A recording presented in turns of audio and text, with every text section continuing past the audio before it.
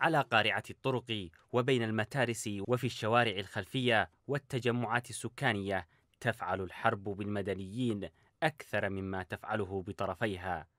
انتهاكات مستمرة قتلى وجرحى ومختطفون ومهجرون أنقاض لمنازل ومصادر رزق منعدمة.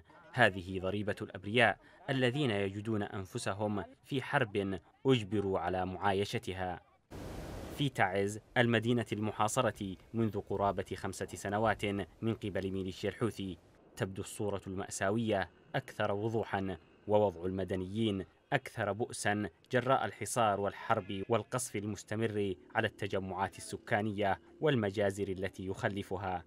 أكثر من ثلاثين ألف انتهاك ارتكب بحق المدنيين في تعز خلال الفترة من مارس 2015 وحتى الخامس عشر من يونيو بحسب تقرير حكومي أصدره مكتب حقوق الإنسان بالمحافظة. أرقام وإحصائيات الضحايا التي أوردها التقرير صادمة تستدعي التوقف وإعادة النظر في مأساة الحرب المستمرة التي غابت أو أريد لها أن تغيب عن أنظار العالم. وتضع تساؤلات عن دور المجتمع الدولي والمنظمات الحقوقية التي لم تحرك ساكنا وهي ترى هذه المأساة.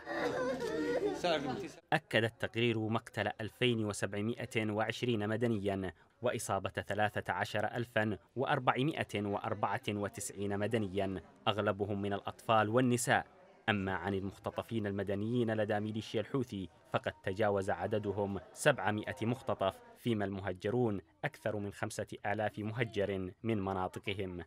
أدى القصف المستمر على منازل المدنيين لأكثر من أربعة سنوات إلى تضرر سبعة آلاف وتسعمائة وخمسة وخمسين منزلا.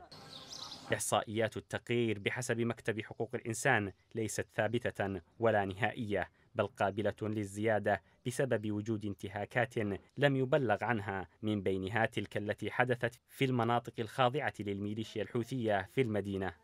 تترك الحرب ندوبا في المجتمع وجروحا مفتوحة وتفعل بالمدنيين ضعف ما تفعله بالأطراف المتحاربة. فمن يضع حدا لهذه المأساة المستمرة وفاتورة الضحايا من المدنيين المفتوحة؟